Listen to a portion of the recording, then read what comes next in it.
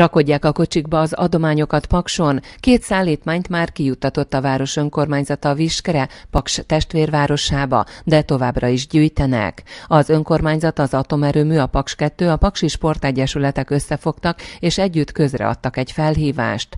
A Segítsünk Együtt Visknek adománygyűjtő kampányindításról sajtótájékoztatón számoltak be a Városházán. Egyeztettünk a Viski városvezetéssel, alpolgármester asszonyjal, aki magyar származású, tehát kárpátaljai magyar, és ő mondta azt, hogy mire van igazából szükségük az ott élő magyaroknak, és ukránoknak. Paplanokra, ágynemükre, matracokra, tartós élelmiszerekre és tisztálkodószerekre van szükségük. A gyűjtőhely a Csengei Dénes Kulturális Központ. Kovács Antal, az MVM Paksi Atomerőmű ZRT kommunikációs igazgatója, az atomerőmű ese elnöke arról tájékoztatott, hogy a cég tulajdonában lévő üres lakásokat ajánlották fel a Kárpátaljáról érkezők számára.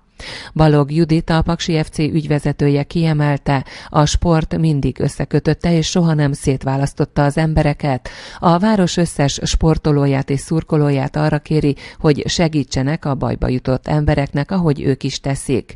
A legkisebb támogatás és óriási segítség áll a felhívásban.